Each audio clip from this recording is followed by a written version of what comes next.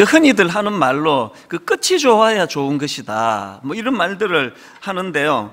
이게 참 우리 인생에게 제일 적용이 되는 것 같습니다. 그래서 우리 모두가 이제 지금까지도 참 은혜로 잘 살았지만 우리의 삶의 이후에 삶도 하나님이 형통의 복을 주셔서 우리 마지막에 좋은 게 좋은 거다. 그 성경도 이걸 참 많이 강조하고 있고요. 그래서 이제 이런 충고도 합니다. 아가스 2장 15절. 우리를 위하여 곧 포도원을 허는 작은 여우를 잡으라.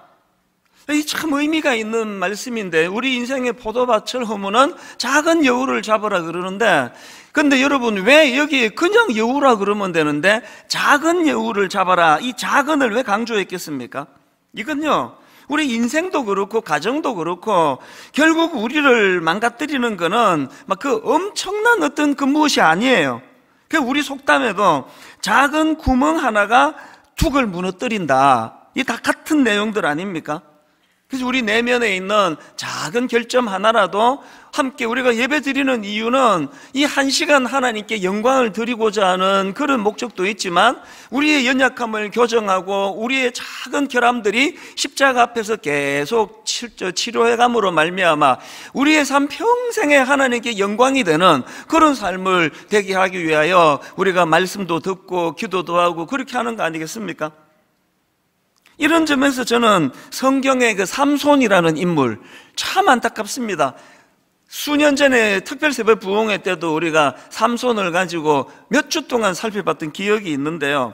보통 이 삼손을 평가할 때, 아, 그 들릴라라는 그 못된 여자를 잘못 만나가지고, 그래가지고 이렇게 망했다 그러는데요. 이거는 맞는 말이기도 하고 틀린 말이기도 합니다.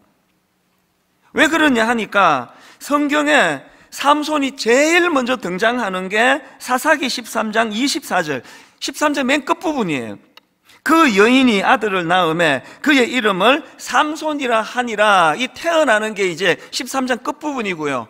그리고 바로 14장에서 그와 관련한 첫 번째 기록이 나오는데 이게 의미가 있습니다. 14장 1절부터 보십시오.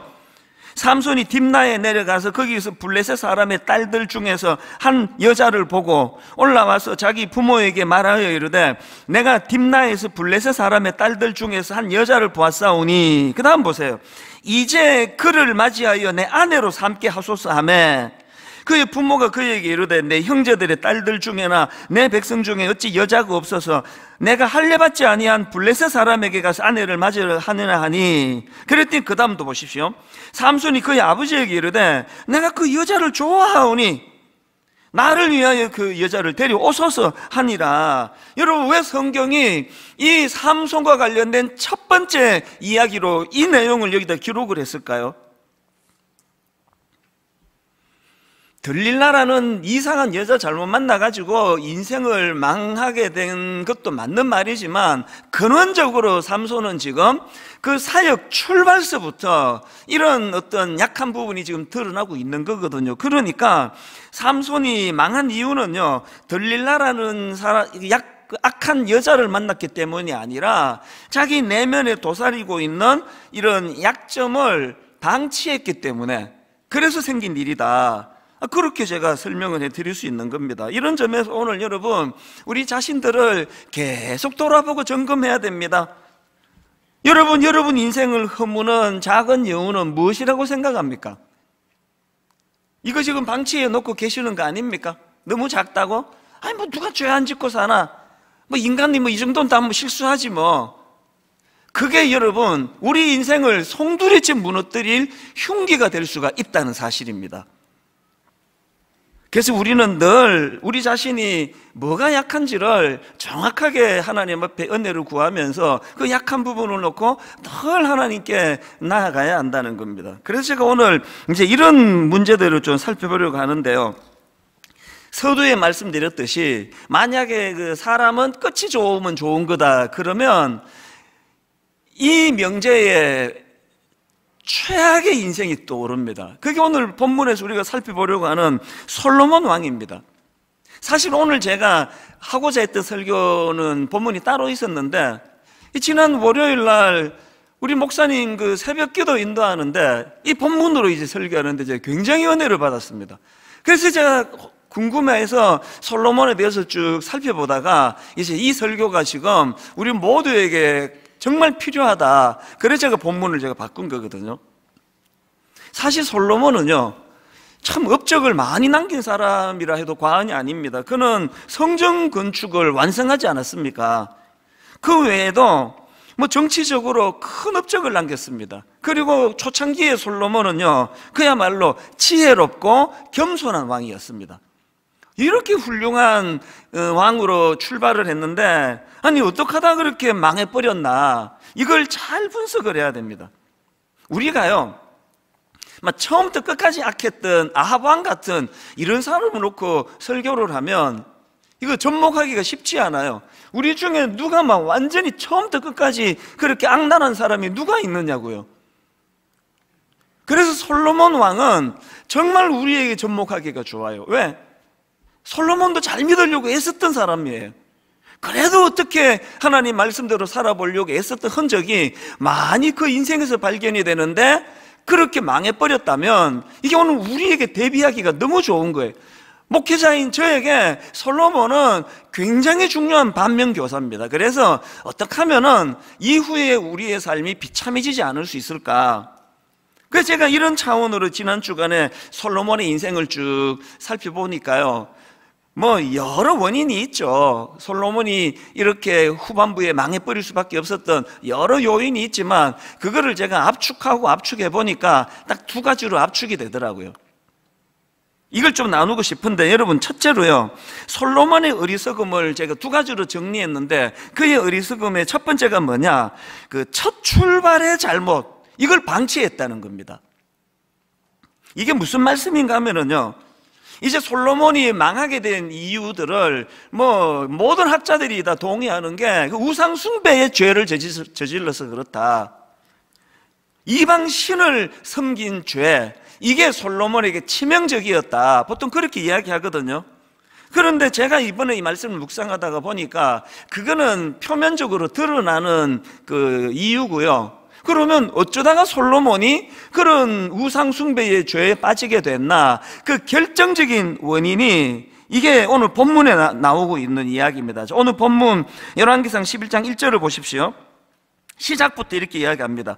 솔로몬 왕이 바로의 딸 외에 이방의 많은 여인을 사랑하였으니 곧 모압과 암몬과 에돔과 시돈과 헷 여인이라 3절 왕은 후궁이 700명이요 첩이 300명이라. 그 다음 보세요. 그의 여인들이 왕의 마음을 돌아서게 하였더라. 우상숭배의 죄가 여기서부터 시작이 된 겁니다. 그리고 사제로도 보니까요 솔로몬의 나이가 많을 때에 그의 여인들이 그의 마음을 돌려 다른 신들을 따르게 하였으므로 솔로몬이 그렇게 망할 수밖에 없었던 타락의 원인이 그 이방 여자들을 너무나 많이 아내로 첩으로 그렇게 둔 여기에 문제가 있다.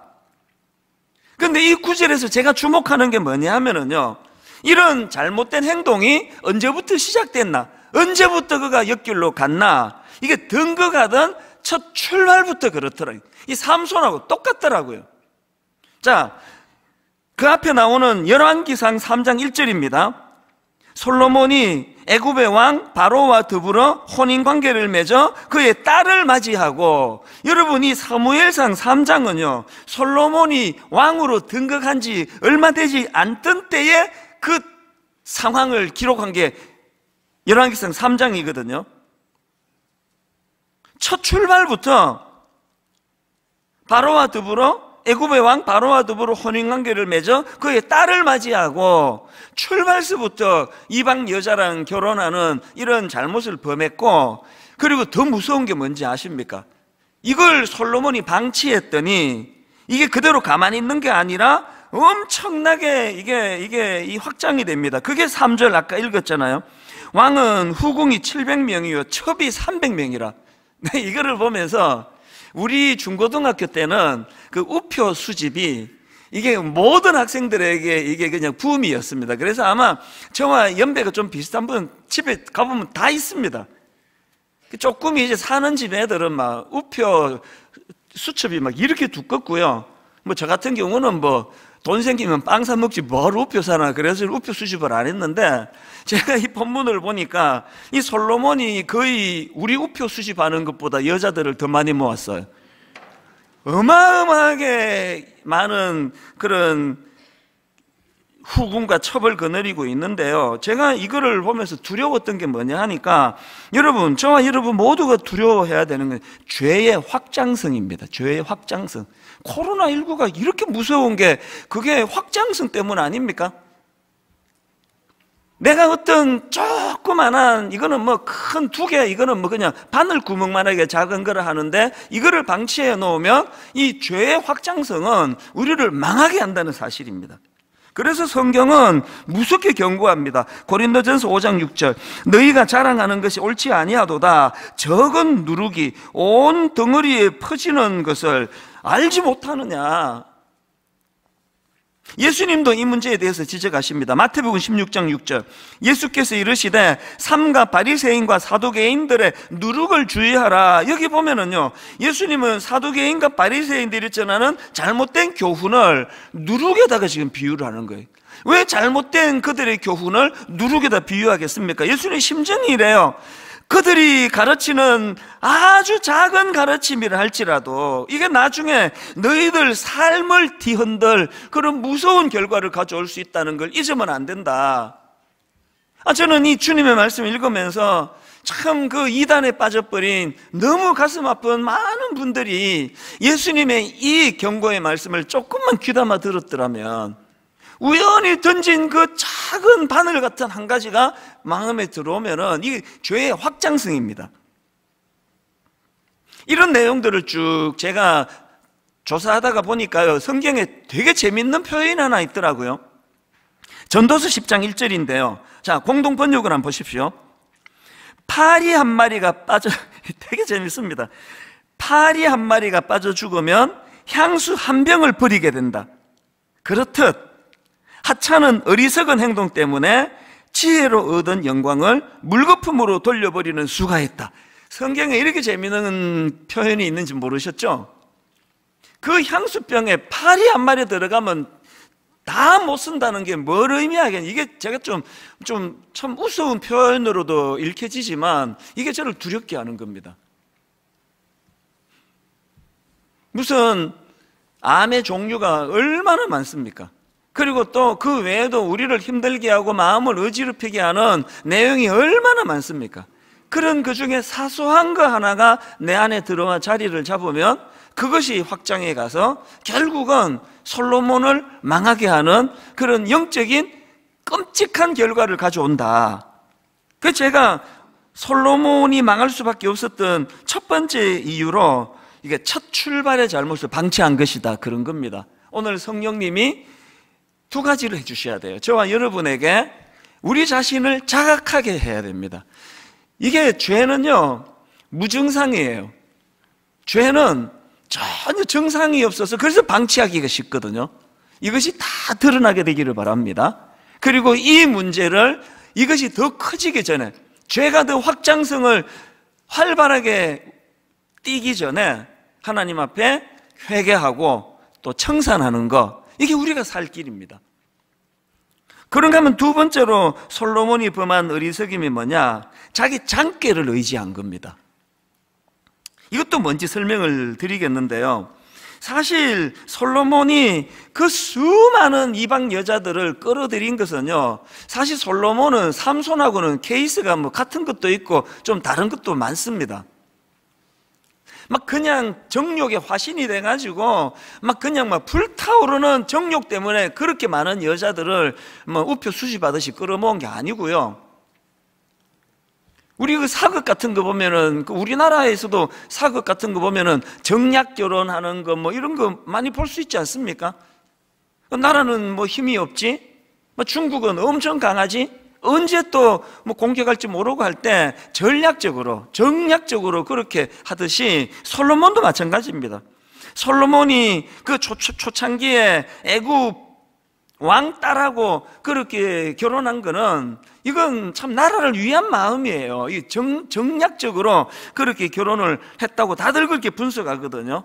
그러나 여러분, 이건 더 나쁜 짓이에요. 이게 왜 더 나쁜 짓인지 아십니까? 막 성적인 충동 때문에 이런 짓을 해도 그건 나쁜 거지만요. 나라를 위한답시고 이게 정략적으로 했다면 이건 더 나쁜 짓입니다. 왜 더 나쁜 짓인지를 설명해 드릴게요. 역대상 22장에 보면은 이제 아버지 다윗이 그 아들 솔로몬을 불러다 놓고 자기가 그 하나님 경험한 내용을 설명하는 대목이 나옵니다. 그게 구절이에요. 보라, 한 아들이 내게서 나리니 이거 보니까 지금 솔로몬이 나기도 전입니다. 하나님이 이렇게 이야기합니다. 솔로몬에 관해서. 보라, 한 아들이 너에게서 나리니 그는 온순한 사람이라. 내가 그로 주변 모든 대적에게서 평온을 얻게 하리라. 여기 나오는 온순한 사람 할 때 온순한 또 평온을 얻게 하리라 할 때 평온을 이게 둘 다 같은 단어예요. 이게 히브리어 어원이 누아크라는 단어인데요. 이건 쉼, 평안, 안정 이런 의미를 갖고 있습니다. 요거를 기억하시고 그다음 보세요. 그의 이름을 솔로몬이라 하리니 이는 내가 그의 생전에 뭘 주십니까? 평안과 안일함을 이스라엘에게 줄 것입니다. 그러면서 하나님께서 이름을 지어 주셨는데 그게 솔로몬인데요. 여러분이 솔로몬이라는 이름의 어원이 샬롬이에요, 샬롬. 하나님이 솔로몬을 이 땅에 보내주시면서 그 가장 중요한 중심에 이름을 주신 의미가 샬롬이에요.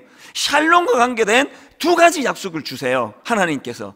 하나는 이름을 그렇게 주셨듯이 솔로몬 자신에게 많은 악한 열방이 있고 여러 가지 어려움이 있겠지만 내가 그것들로부터 너를 보호해서 내가 너에게 샬롬을 주겠다. 이게 첫 번째 약속이고요. 그리고 또 한 가지 약속이 뭐냐? 너만 샬롬을 누리는 게 아니라 네가 통치하는 동안에 그 백성들 모두가 샬롬을 누릴 수 있도록 내가 해주겠다. 이 두 가지 약속을 주셨단 말이에요. 지금 아버지 다윗이 자기가 경험한 하나님의 약속을 이야기하면서 너 그 이름을 그 누가 지어줬는지 아니? 그 이름은 하나님이 지어주셨어. 그리고 뭐 자기들은 다 할 거 아닙니까? 이게 샬롬. 그러면 솔로몬이 어떻게 해야 되느냐고요. 주변 사람들이 자기 이름을 부를 때마다 뭘 확신해야 됩니까? 하나님은 어떤 상황에서도 나를 샬롬의 길로 인도해 주시기로 약속하셨다. 그것만이 아니에요.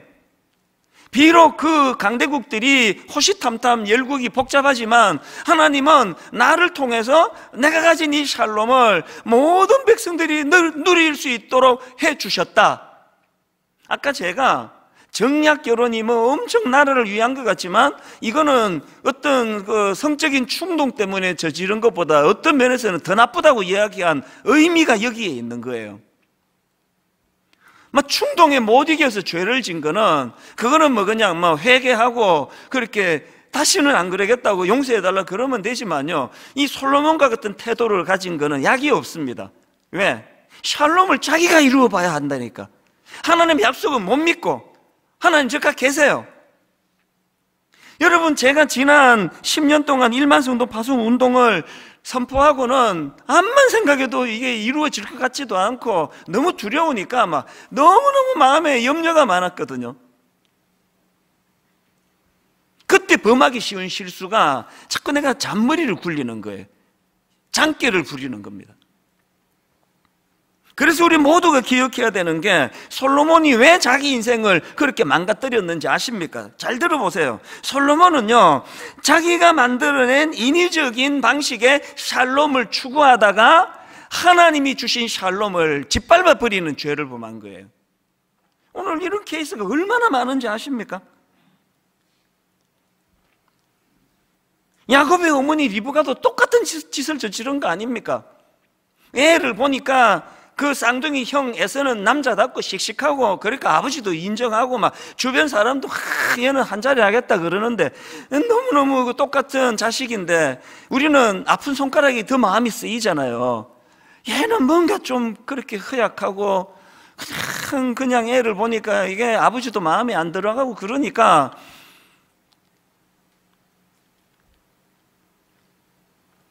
아버지에게 장자권 그거 네가 어떻게 빼앗아 가지고 너 좀 잘 살면 좋겠다. 그래서 뒤에서 사주하다가 여러분 너무 잘 알잖아요.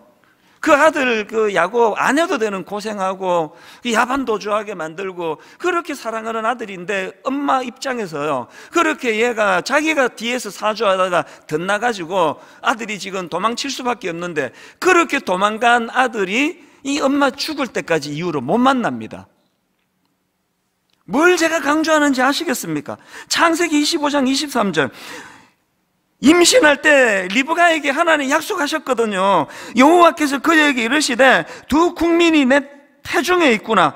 두 민족이 내 복중에서부터 나누이리라. 이 족속이 저 족속보다 강하고 그다음 보세요.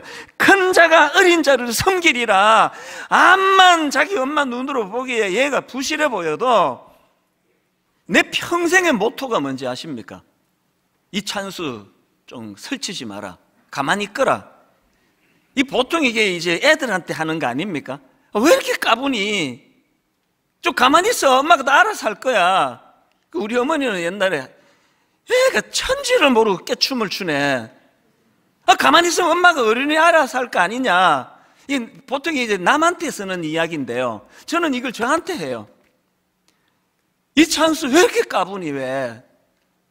1만 성도 파송 운동 선포하고 지난 10년 동안 내가 얼마나 나를 많이 꾸짖었는지 몰라요. 이거 안 될 것 같으니까 자꾸 뭐를 이렇게 장깨 부리고 그러면 아이고 참 얘가 우리 엄마한테 들은 게 있어가지고 천지를 모르고 깨춤을 추네.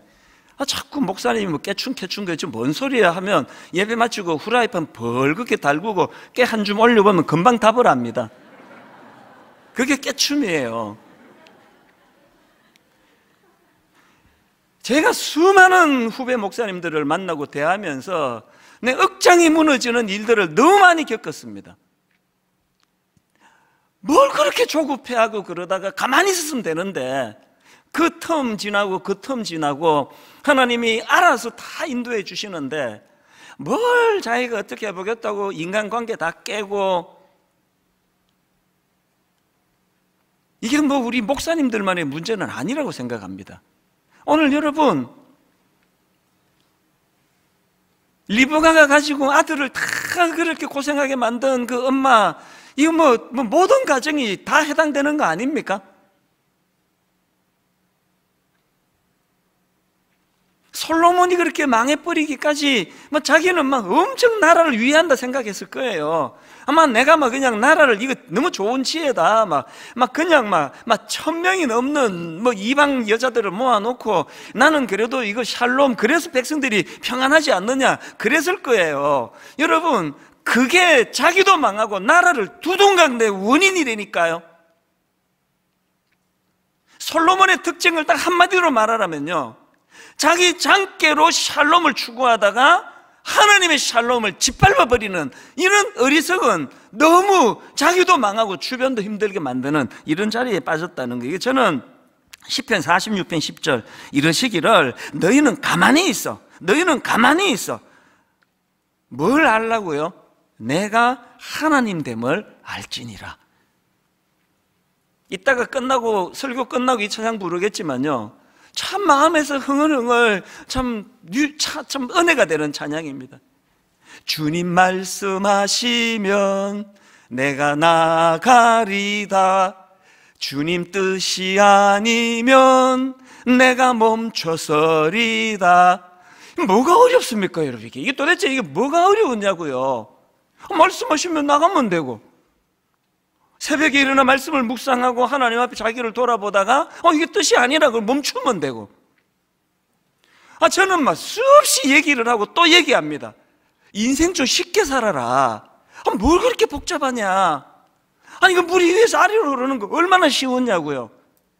지난 10년 동안 늘 저를 경고로, 경고하고 까불지 말고 좀 가만히 있거라 이 목사야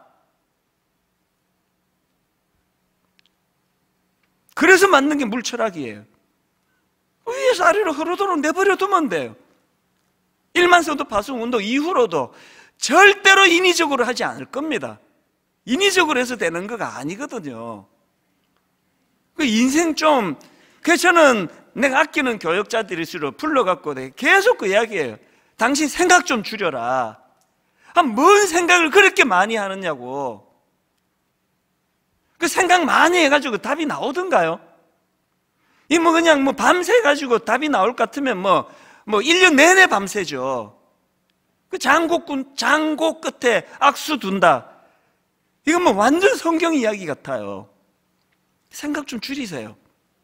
막 지금 생각에만 내가 막 샬롬을 만들고 막 엄청 잘할 것 같아도요. 그게 하나님의 샬롬을 그거를 그 깨뜨리는 위험이 있다.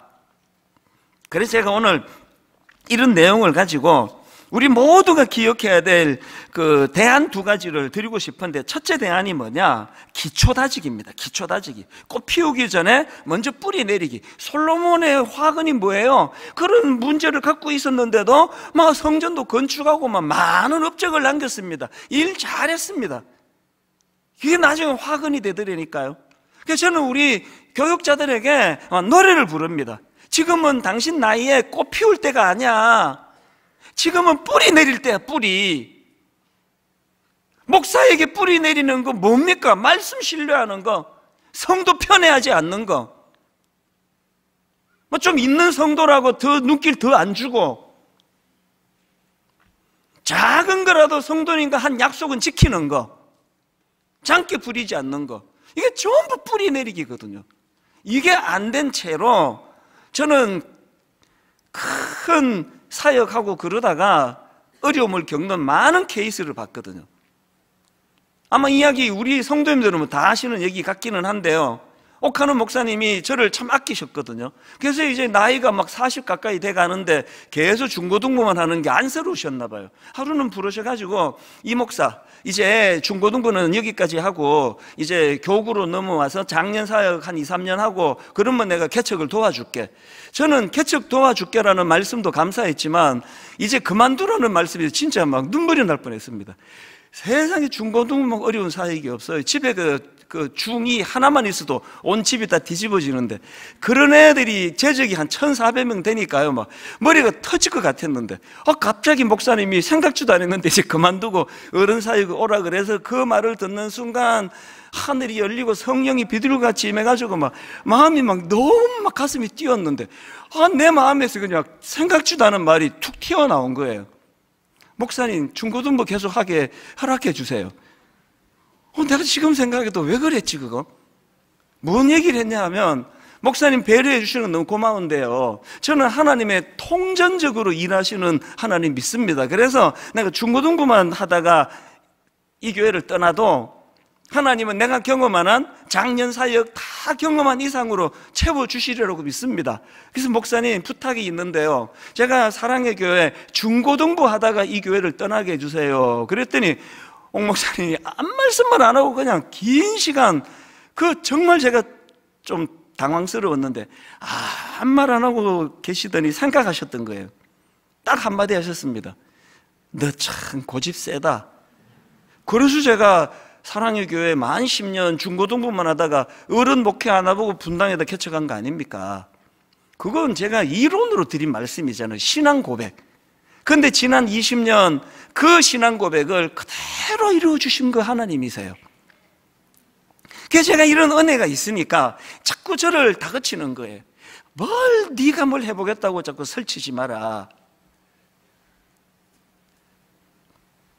그래서 저는 우리 교육자들에게요, 소년 등과 부덕 호사. 너무 어린 나이에 과거 급제하면 좋게 죽기 어렵다. 이 중국의 유명한 이야기예요. 또, 소년 등과 일 불행. 너무 어린 나이에 과거에 급제하여 높은 벼슬에 오르는 게 그 인생에서 제일 큰 불행이다. 저는 이거 완전 제가 동의해요. 내 인생에서 신학교 졸업하면서 옥하는 목사님 같이 정말 무슨 말씀을 하든지 간에 믿을 수 있고 신뢰할 수 있는 그러면서도 또 무섭기까지 한 그런 옥 목사님을 만난 게 내 인생의 축복 중의 축복이에요. 매 화요일마다 견디기가 어려울 정도로 무섭게 야단을 치시고 목회자가 그러면 안 된다고 영혼 사랑하지 않으면 목회 그만두라고 10년 동안 제가요 목사님 그렇게 말씀 주실 때 토식 하나도 안 남기고 막 어떤 건 내가 써놓고 내가 못 읽어요. 너무 빨리 받아 적어가지고. 그게 저 노트로 10권입니다, 10권. 그 다이어리에다가. 계속 그걸 받아 적었는데. 그게 저를 살린 거예요. 간혹 너무나 부흥하는 큰 교회 젊은 목사 그러다가 갑자기 성적인 죄로 무너지는 거 보면 저는 안타까워요. 저분이 옥 목사님 밑에서 10년만 배웠더라면 저분이 옥 목사님 밑에서 10년만 뿌리를 내릴 수 있었다면 저 죄 안 줘도 될 텐데 여러분 여러분에게 그런 존재가 있습니까? 두 번째로요 대안이 뭐냐? 자기 방식의 추구가 아니라 솔로몬의 실수가 이거라 그랬잖아요. 자기 방식의 추구가 아니라 말씀에 귀 기울이는 훈련이 필요하다는 겁니다. 우리가 굉장히 그 자주 얘기하는 것 중에 하나님이 어느 날 솔로몬에게 너한테 뭐 해주라 그랬더니 솔로몬이 지혜를 주세요. 그래가지고 지혜를 주셨다. 근데요, 그 우리말 성경을 자세히 보면은 되게 재밌습니다. 그 과정이. 그게 열왕기상 3장 9절에 나오거든요. 한번 보십시오. 하나님이 솔로몬에게 내가 너한테 뭐 해주기를 바라느냐? 그랬더니 9절 솔로몬이 이렇게 말합니다. 누가 주의 이 많은 백성을 재판할 수 있사오리까? 그 다음 보세요. 듣는 마음을 종에게 주사. 주의 백성을 재판하여 선악을 분별하게 하옵소서. 그랬더니 하나님은 어떻게 해석하시느냐? 11절. 이에 하나님이 그에게 이르시되 네가 이것을 구하도다. 자기를 위하여 장수하기를 구하지 아니하고 부도 구하지 아니하며 자기 원수의 생명을 멸하기 기도 구하지 아니하고 오직 송사를 듣고 분별하는 뭘 구했다고 그러십니까? 지혜를 구했으니. 하나님은요 듣는 마음을 종에게 주사를 하나님은 지혜로 해석을 하세요. 사람에게도 하나님께도 듣는 마음 이게 지혜라는 거예요. 지혜. 아, 솔로몬이 이 하나님의 말씀을 그 재판 잘하는 데만 쓰는 게 아니라 자기에게 접목을 했더라면 얼마나 좋았겠습니까? 불안할 때마다 하나님 내가 태어나기도 전에 샬롬을 허락하셨는데 아버지 내게 주실 샬롬이 무엇인지요? 이 샬롬을 유지하기 위하여 내가 뭘 해야 되겠사옵는지요? 그래서 여러분 저는 이 10편, 119편, 137편 한 주 내내 묵상한 말씀이에요 여호와여 주는 의로우시고 주의 판단은 어르신이다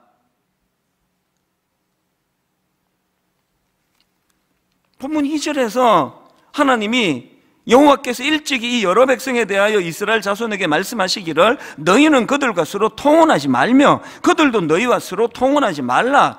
솔로몬 입장에서 지금 이게 정략 결혼은 좋은 건데 왜 이방 사람과 결혼하지 말라 그러느냐? 바로 그 지침 다음에 이유를 설명하세요. 그들이 반드시 너희의 마음을 돌려 그들의 신들을 따르게 하리라. 솔로몬이 방심한 게 뭡니까? 아, 난 잘할 수 있다는 이 정략 결혼이다. 내뭐이 여자들한테 내 지금 마음 뺏기는 거 아니다. 그런데 사절에 결과가 나오잖아요. 사절에 솔로몬의 나이가 많을 때에 그의 여인들이 그의 마음을 돌려 다른 신들을 따르게 하였으므로 지금 당장은 내가 이거 잘할 수 있을 것 같은데 그게 그런 게 아닙니다. 그게 솔로몬이 나이가 많을 때에 그의 여인들이 그의 마음을 돌려 다른 신들을 따르게 하였으므로 결론을 저는 이렇게 맺기를 원합니다. 어, 솔로몬의 어리석음 두 가지 정리하셔야 됩니다. 왜 망했습니까? 첫 출발의 잘못을 방치했기 때문이다. 왜 망했습니까? 자기 장깨를 의지하다가 하나님의 샬롬을 밟아버렸다. 그래서 대안 두 가지가 뭐라고요? 기초를 다져야 돼요. 뿌리를 꽃 피우기 전에 먼저 뿌리를 내려야 된다. 둘째, 자기 방식의 추구가 아니라 말씀에 귀 기울이는 훈련이에요. 말씀하옵소서. 종이 듣겠나이다. 이것이 가능하려면 이 말씀을 잊으시면 안 되면 한번 저를 따라 선포하고 찬양하면 좋겠는데요. 여호와여. 아, 크게 한번 선포해 보세요. 여호와여. 주는 의로우시고 더 큰 선포. 주의 판단은 어르신이다. 저와 여러분 인생 내내 이 말씀이 우리의 중심에 서게 되기를 바랍니다. 오늘 이 말씀을 가지고 참 아까 우리가 제가 불러드렸던 그 찬양이요. 주님 말씀하시면 내가 나아가리다. 주님 뜻이 아니면 내가 멈춰서리다. 나의 가고 서는 것 주님 뜻에 있으니 오 주님 나를 이끄소서. 오늘 말씀을 기억하시면서 어떻게 이 말씀이 내 삶에 내 가정에 접목이 될 수 있을까를 고민하면서 함께 찬양하기 원합니다. 주님 말씀하시면 말씀하시며 내가 나아가리다. 내가 나아가리다. 주님 뜻이 아니면 주님 뜻이 아니면 내가 멈춰 서리다. 멈춰 서리다. 나의 가고 서는 것. 주님 뜻에 있으니 오 주님 나를 이끄소서. 한마디 한마디 다시 한번 선포합니다. 주님 말씀하시면 말씀하시며 내가 나아가리다. 주님 뜻이 아니면 내가 멈춰 서리다. 내가 멈춰서 나의 가고 서는 것 주님 뜻에 있으니. 오 주님 나를 이끄소서. 힘있게 한번 선포하기 원합니다. 뜻하신 그곳에 있기 원합니다. 이끄시는 대로 순종하며 살리니 연약한 내 영혼 내 영혼 통하여 일하소서 주님 나라와 그 뜻을 위하여 그 뜻을 위하여 뜻하신 그곳에 나 있기 원합니다 이끄시는 대로 순종하며 살리니.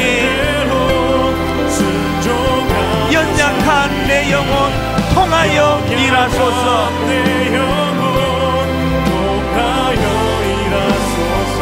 주님 나라와 그 뜻을 위하여.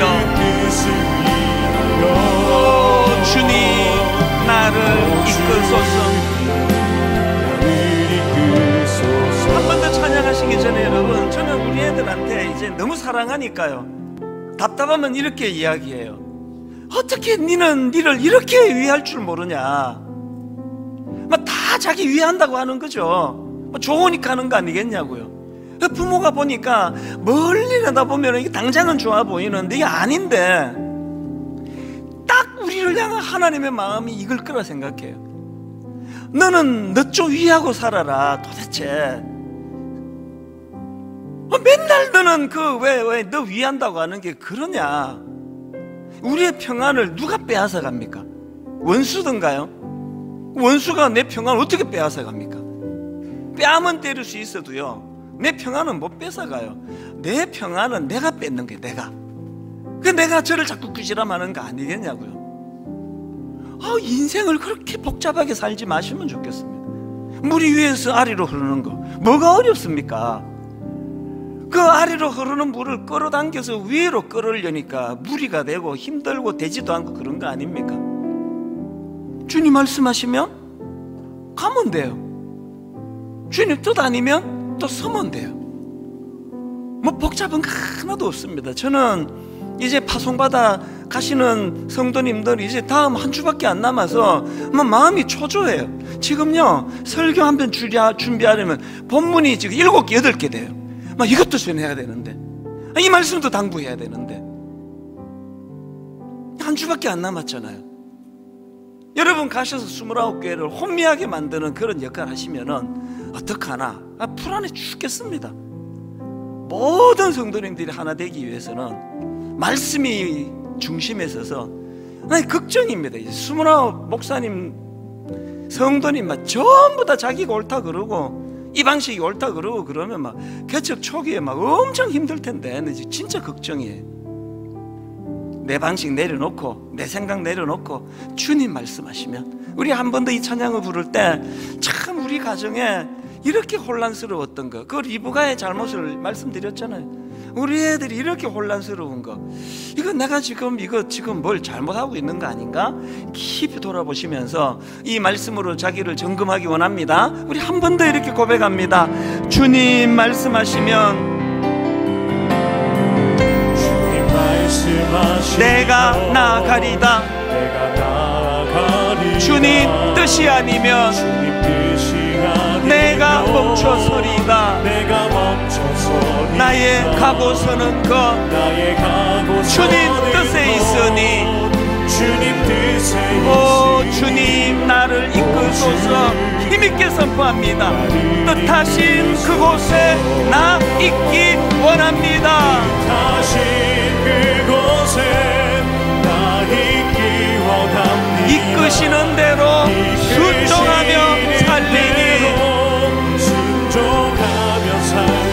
연약한 내 영혼. 통하여 일하소서. 주님 나라와 그 뜻을 위하여 그 우리 마지막으로 온 전심을 다하여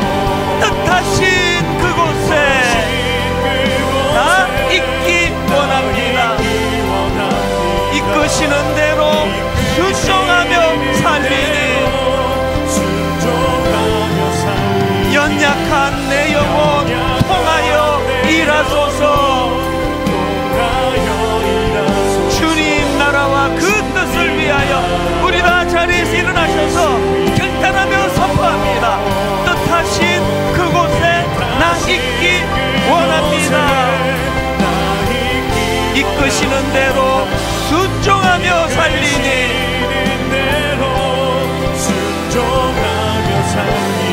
연약한 내 영혼 통하여 일하소서.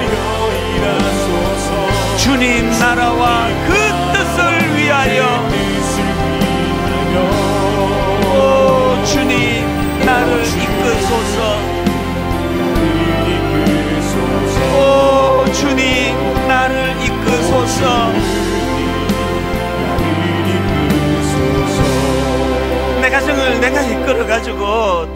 일이 참 많은 그 수많은 아버지들이 돌아볼 자녀 교육에 내가 이 아이 이끌어 보겠다고 했었다가 참 리브와 리브가와 같이 가슴을 치는 후회를 하시는 부모님들이 많으실 거예요. 그래서 결국 믿음은 이 고백으로 바뀌는 거거든요. 오 주님, 나를 이끄소서. 오 주님, 우리 가정을 이끄소서. 스물아홉 교회를 어느 인간이 이끌겠습니까? 누가 이끌겠습니까? 스물아홉 교회 모두가 다 하나님 앞에 오 주님 이 교회를 이끄소서. 오 주님 이 교회를 이끌어 주시기 원합니다. 주신 말씀을 가지고 우리 한 목소리로 합심해서 같이 기도하시겠습니다. 살아계신 하나님 하나님 앞에 은혜를 구하며 기도합니다. 주님 말씀하시면 내가 나가기를 원합니다 주님의 뜻이 아니라 판단되면 아버지 멈춰서기를 원합니다. 나의 가고 쓰는 것 오로지 주님 뜻에 있음을 고백하오니 오 주님 나를 이끌어 주시기 원합니다. 오 주님 우리 가정을 이끌어 주시기 원합니다. 오 주님 우리 교회를 이끌어 주시기를 원합니다. 오 주님 이 나라를 이끌어 주시기를 원합니다. 이 민족을 이끌어 주시기를 원합니다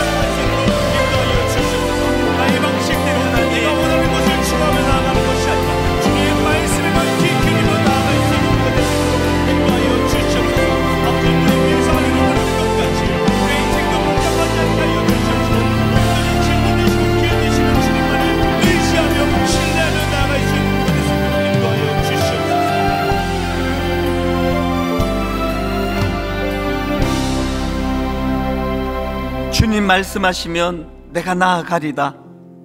주님 뜻이 아니면 내가 멈추어서리다. 나의 가고 서는 것 오직 주님 뜻에 있으니 오 주님 나를 이끄소서. 여호와여 주는 의로우시고 주의 판단은 옳으시니이다. 내 인생의 아버지 이 말씀이 이 찬양이 내 삶의 중심이 되도록 그래서 하나님 내가 어떻게 해보겠다고 자녀들을 위하여 밤잠 자지 않고 이 학원 저 학원 좋은 아버지 잘 가르치는 곳을 쉴 새 없이 뛰어다니고 달려갔지만 결국 우리 자녀를 바라보면 드릴 수 있는 고백은 한마디입니다. 오 주님 이 아이를 이끌어 주시기를 원합니다. 우리 가정도 마찬가지고 교회도 마찬가지입니다. 하나님 스물아홉 교회와 분당 우리 교회를 불쌍히 여겨 주셔서 오 주님 이 교회를 이끌어 주시기를 원합니다. 하나님, 이 나라를 이끌어 주시기를 원합니다.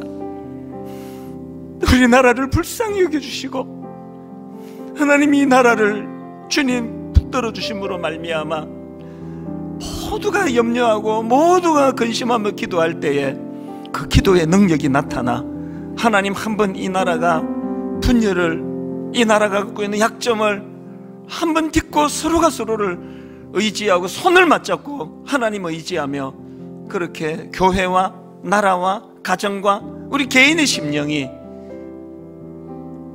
하나님 의지하는 자들이 누리는 복을 누릴 수 있는 귀한 우리 개인의 삶과 교회와 가정과 나라가 되도록 인도하여 주시옵소서.